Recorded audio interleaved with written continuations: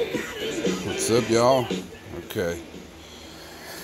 Okay. Have you ever put on a set of uh, test pipes or an exhaust up close to the manifold and you hear it ticking? Uh, I'm gonna grab. These are the JHM without uh, the uh, cats. Hang on really quick. Sorry. I'm a one-man show out here. As you can see, this is Arizona. There's not too many friendly people, and my neighbor's got his own stuff to work on today. So, most of the time, it's just me. Anyway, back to the point. Alright, you ever hear it ticking after you get the exhaust out? Like, oh shit, what the hell is it? Oh my god. There's a crack in the weld. There's, you know, blah, blah, blah, whatever. Alright. Is there a leak? There's a leak in the exhaust. And I'm to do for comparison. Alright, do you see these are top speed. I just put them on. Yeah, they blew, but it's, it's what they do. These are the JHMs. Now, if you're to go, oh, well, top speed are cheap, JHMs are more performance, hear, hear me out. I'm to tell you, there's nothing wrong with the JHMs. They're not top of the line. Well, I, I mean, anyway, I don't know. What What is top of the line? What you pay for them? I don't I don't think that's the case. Everything you put on aftermarket is going to have and need some tweaking. Um, this is actually the wrong side. So, with that being said, it doesn't matter. Fitment, uh, welds, you know, for something like this, how the product performs compared to stock. That's the only thing that really matters. Okay. All right. So I'm going to tell you, JHM top speed. You're thinking top speed is cheap. JHM is the better. Excuse me, it's clearing my throat. All right, not the case. It, everything you buy for your car that's performance is going to be aftermarket. Aftermarket means that somebody made the part after the car was put on the market. No matter what part it is, was put on the market, somebody else came up with something. Everything is a knockoff. Nothing is a one-off. When you buy aftermarket parts for a car that you bought from a manufacturer, nothing's after or nothing's uh, a one-off. It's all aftermarket. So let's get that straight. JHM probably has a better name than Top Speed. I'm not sure. I don't know. I'm not doing that kind of evaluation at all. It's not my concern. I just want the best part for the best money. Uh, really, and that's it. Okay. Now, getting back to the exhaust. Can you tell it was leaking? Yes, that is how you tell that your gasket is leaking. Okay? That is a perfect example. So if you pull it off and you're wondering here, if you if you're hearing a tick and you're going, oh shit, if I pull it off and that's not it, well, that's the giveaway. Sometimes you could see it, you know, if you got visible, you can see it from the side, the uh, carbon buildup. But you know, this car you cannot tell from the side. I even put my borescope around there to see if I could see it. But if you can look, there's nothing that would say it's it's been leaking. You know, from maybe that little line would have been a little bit of a giveaway. But nevertheless, I know where the sound was coming from. I know what I did to my car, so it all pointed to one thing, the gasket. Okay? Now, what is one part better than the other? And if you can see, a little bit of push by, not much. But you can see definitely push by. Alright. So, you comparing, you think apples to oranges. No, it's oranges to oranges. Because this is passenger side, right side. This is the JHM. Can you see it? Can you see it? So, no matter what part was better, they all can leak. Remember, it's an aftermarket part. Customizing, tweaking it in some in some way uh, will help you out. I'm gonna tell you this: I should have did it. I didn't do it, and maybe I think at that time I did it for a reason. I wanted to see how well the gasket would hold up. I made another video of it. Here's a st stock gasket, you can see. But that's the at the downpipe. That's what that leak was. These are the stock gaskets. Actually, you know what? Yeah, you can see a little bit there. This two-piece design, tin, so it's kind of trying to warp itself to what, you know, this would be. And is it better than this one here? No. I like this because of the thickness. There's some cushion. There's some, you know, uh, a point to where you could kind of crush this one into the system and make a better seal over the stock. Now for the stock exhaust, yeah, these are fine because those services are so true. All right, remember, this is aftermarket. That means somebody said, hey, I got a flange, I got the design, let me put it together, and it's gonna perform better. It does, but you're gonna run into issues like this, okay? A leak. Yeah, it sucks, uh, especially on the Audi. They're so hard to fucking get off and get to. And sorry about the swear word, but that's what I do. Um, so, what is the fix? The fix is, like I said in the other video, check the deck. See if it's decked. You know, none of these, especially when you start applying heat with the weld, this will tweak a little bit either way. but I'm going to tell you this. If you've seen the, uh, the JHM, uh, actually the other one was leaking on the passenger side. Uh, the top speeds, or the driver's side, the top speeds leaking on the uh, uh, passenger side. Doesn't make either one of them bad, okay? Now what I should have did which, like I said, I think I remember I was doing this for a reason to see how well this gasket would seal. It's not any better. It's not any worse than the OEM. Okay? This is what this is made for. Okay, so what I'm to do is clean up my surface really good. Take some acetone. I'm to clean this. Get this back nice and shiny on both sides. I'm to sand this down. Well, you know, clean it up I'm going to put me a nice thick bead around here. Okay. I'm going to do the same thing on the manifold side of this gasket. A nice thick bead.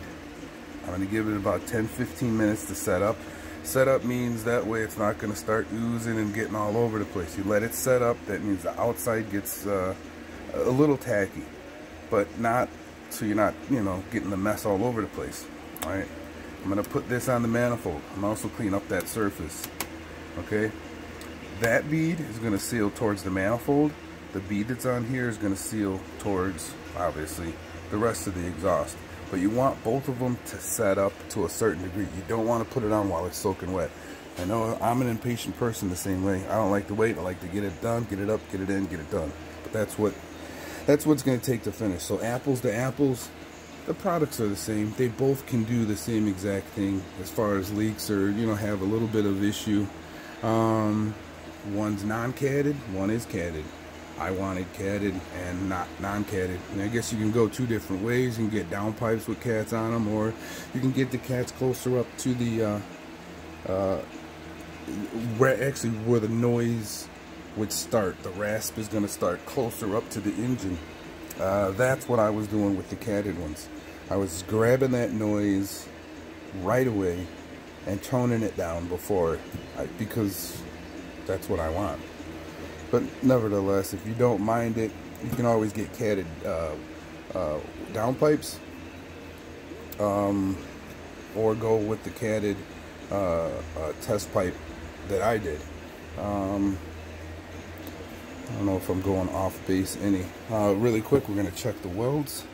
And the welds would show the same exact thing. They would show carbon pushing out of any little pinhole. I'm a welder and I do that as well. Now I'm going to tell you, top speed welds, they're nice. The bottom, it wasn't leaking. Um, but check all of the welds all the way around the piece. That way, if I needed to, I can go back and just tack it out, uh, seal the weld up. Um,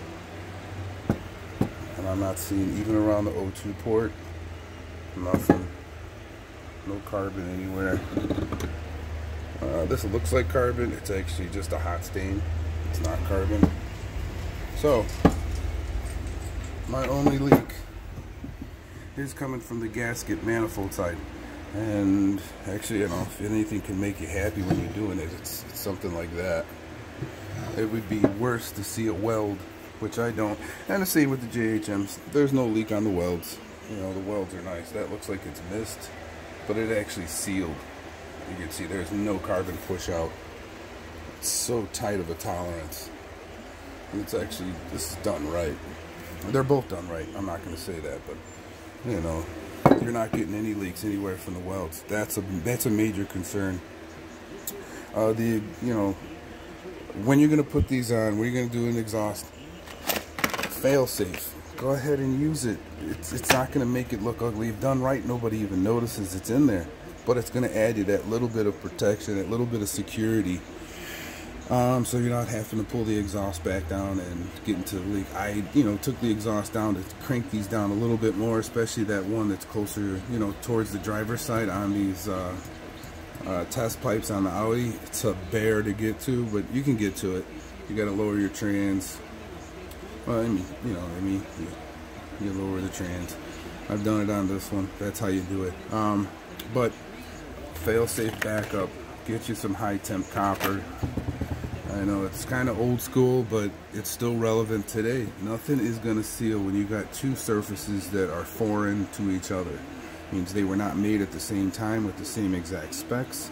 Aftermarket parts are always going to come with some kind of tweaking. As long as I've been doing this in over 30 something years, and you know, I guess now we're into the modern stuff, but even the old parts were the same way. We had starters we had to shim out. Sometimes you bought a starter that was bad. So it's just the nature of the beast. Um, nothing goes identical or exactly perfect. Um, but go ahead and get yourself a little bit of backup. This is an ashtray, so it's going to be an overflow for my trans. Um, but yeah, go ahead and get you some uh, gasket sealer on there, gasket maker on there. You can see these are the custom lines for the trans cooler. I'm doing two jobs here, trying to fix the exhaust and then I'm going to be routing these lines, my new uh, trans lines. I'm probably going to pull this here, run them nice and low, up under there, and then to the trans cooler, which is going over there. Alright guys, I just wanted to show you. Yeah, I did find the tick. And again, yeah, these are top speed.